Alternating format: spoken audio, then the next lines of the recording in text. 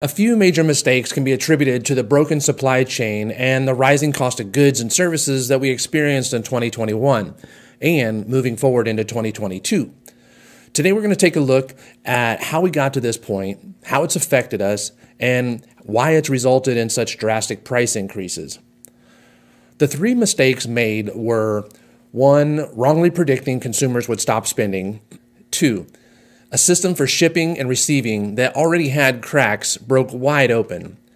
And number three, mergers and acquisitions in certain industries are going to make it easier to keep their prices higher in the future.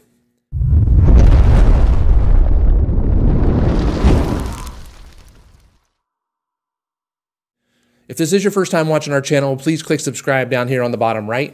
And if you click that little bell next to it, you'll be notified of all of our videos as they come out. First, the wrong assumptions.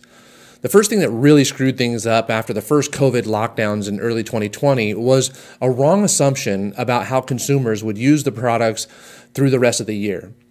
Just as consumers went panic shopping, buying every last piece of toilet paper that they could find, the manufacturing industry leaders made a panic assumption. They assumed that since people were getting really sick at an alarming rate, fewer people would be out and about spending money.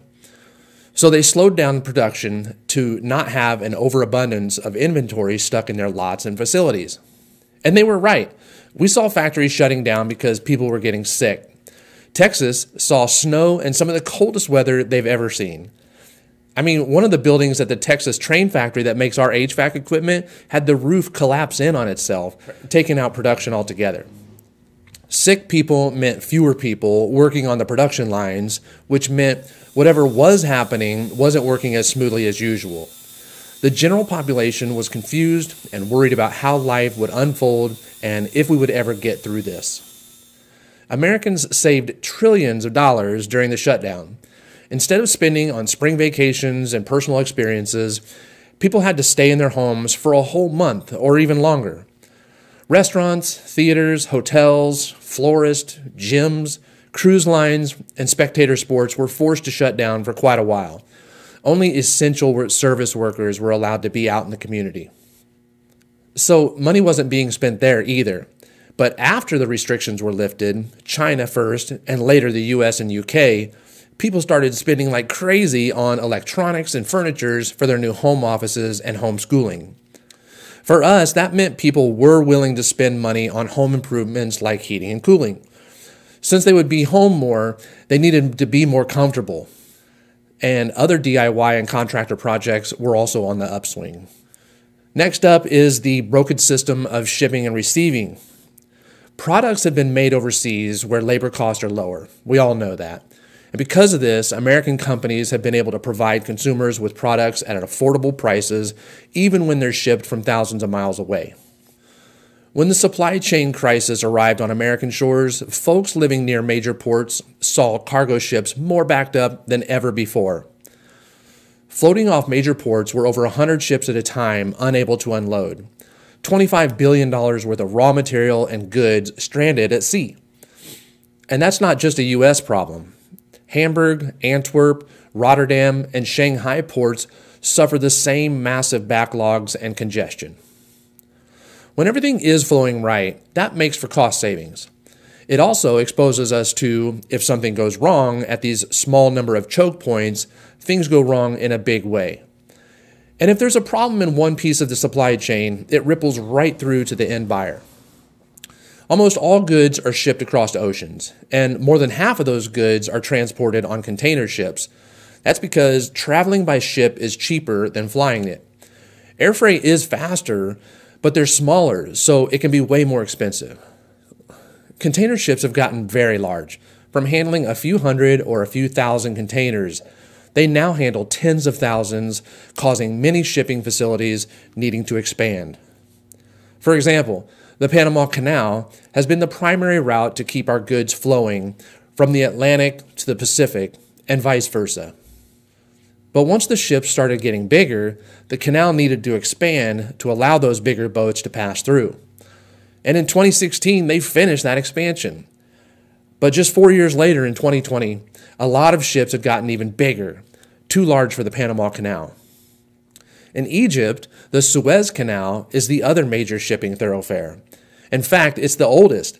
It cuts the travel distance from China to Europe by 3,000 miles. This way, ships didn't have to go around Africa. Trillions of dollars pass through there every year.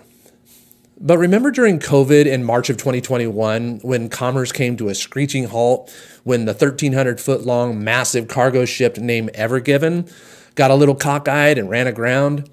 That massive cargo ship, carrying over 18,000 containers worth of about a billion dollars of goods and raw materials, halted all passage through the canal.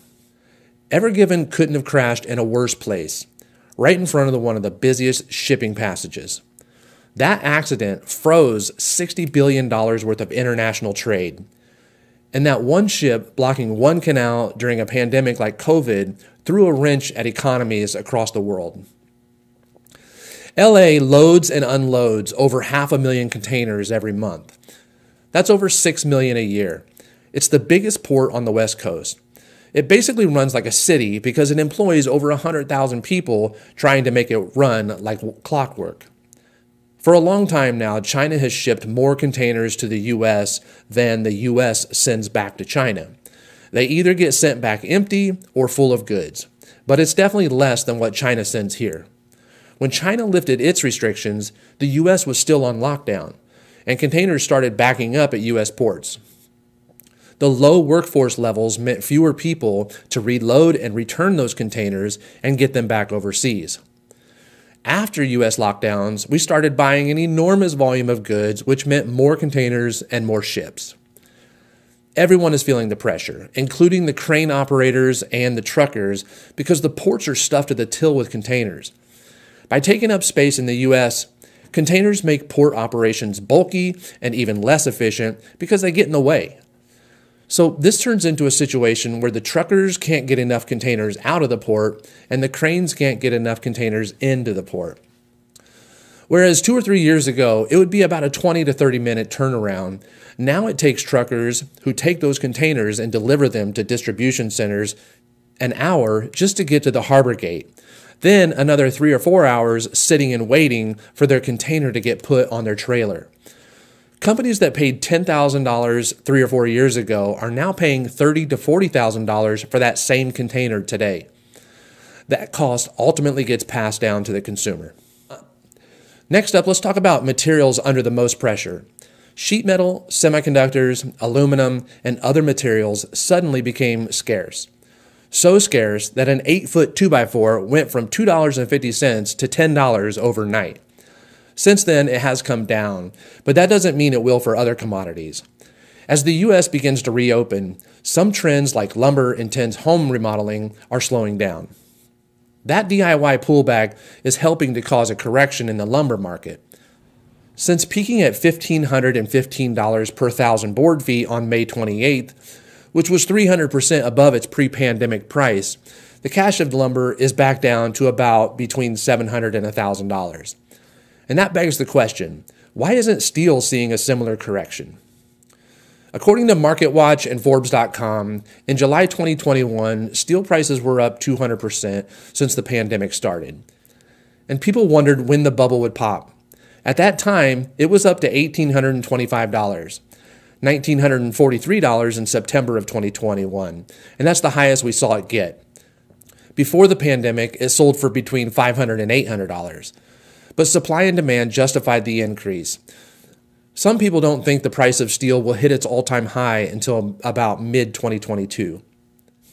In my field, not only were there fewer sheet metal and semiconductors for manufacturers to pull from, but the price of that equipment that they were selling us went up by 25% in 2021. Another price increase of 10% is going to happen in January of 2022. And who knows how many more increases that they're going to have in 2022. Let's take aluminum for example. Aluminum is one of the most common metals found in the Earth's crust. But turning that raw element into the finished product involves a long process. It's mined in Australia, Guinea, China, and Brazil, and it's refined into aluminum oxide, which is then turned into aluminum metal. And the final hardening element, magnesium, which also comes from China, is short because of rolling blackouts that have been happening there since the major increases in production after the lockdown. Those power cuts have intermittently stopped factories from producing items essential for the West. Think of all the things made with aluminum cars, electronic devices, refrigerant lines for HVAC systems. When there's a shortage, all those manufacturers are chasing the same product.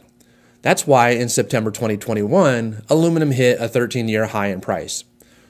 Now let's talk about sheet metal.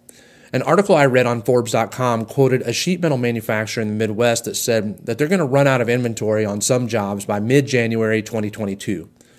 They just can't get enough to build any inventory or safety stock. Another manufacturer said that it doesn't matter how much money that they're willing to pay for steel, there's none available to be had beyond their everyday requirements until late January or February. Then there's just normal everyday wear and tear that happens during operation. A Canadian steelmaker said that they had to shut down for an extended time when their number two caster failed. That same mill is also set to take down one of its furnaces for two to three weeks for scheduled repairs. The two outages alone could leave that mill with no steel making for a few weeks. Steel, which is heavily needed in the oil and gas industry, is experiencing an all time high in demands as the economy reopens. So, along with furnaces and package units, which never really tapered off, these other industries began picking back up. That's why prices are not set to go back down anytime soon. Here's one more big note that I read about mergers and acquisitions. And this is a big point to make. Two major acquisitions by steelmaking titan Cleveland Cliffs buying AK Steel and US Steel buying ArcelorMittal have essentially made the steel industry a duopoly.